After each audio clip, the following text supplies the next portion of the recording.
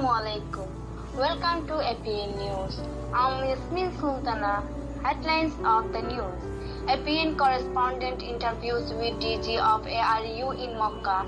No Nation talks over Rohingya issue. India, August 15, 2017. Now into the details. Makkah Muhammad Sajid Jalal from Arakan Press Network APN interviewed with the Director General of Arakan Rohingya Union ARU proved Dr. Wakaruddin on the plight of the most persecuted Rohingya Muslims minority in Arakan, as well as report on August 40, 2017. The interview was taken place at the head office of Global Rohingya Center GRC in Chokia of Makkah. Scheduled time on different kind of aspects of Dr. Wakaruddin on the situation of Rohingya people.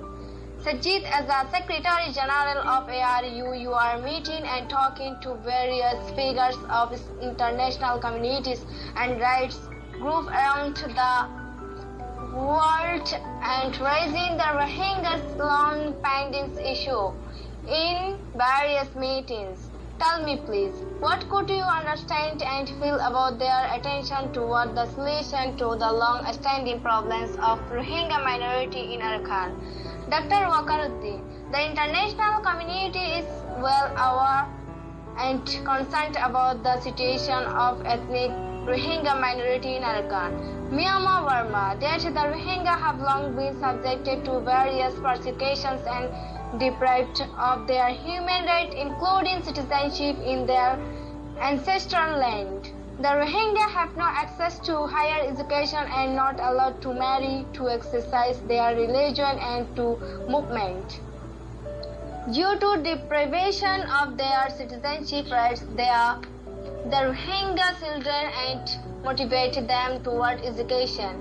Education is the most important for all, especially for Rohingya. You can particularly inspire the children to receive education in Arakan, except Arakan. The Rohingya in other parts of Burma have somehow access to higher education like Mandalay, Yangon, and so on. But in Arakan, state education is restricted for Rohingya Muslims where the youth should play the vital role to motivate and teach the children. The children outside Arakan are also wasting their golden time without study. There, the youth can help them in receiving education. Finally, Dr. Wakaruddin conveyed a message for all Rohingya. That is, our Rohingya frequently leave the country and so it will be a Rohingya free land someday. And the policy of Burmese government is also the make a straight Rohingya free land. Therefore, I would like to request the Rohingya brothers and sisters in Arakan to tolerate the persecutions and not to leave the country at all.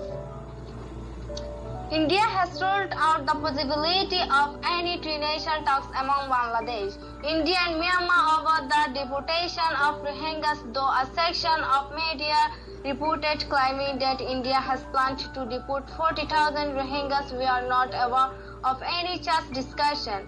We don't know where you did get it. Diplomatic sources in New Delhi told UNB on Sunday. Other diplomatic sources said India did not want to get involved in the Rohingya issue when Bangladesh made a request in the past.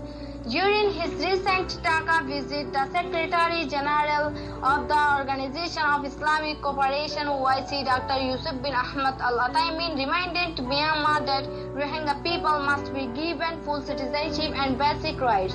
Rohingya people denied their basic rights. They need to be recognized in giving their identity. They must return to their country.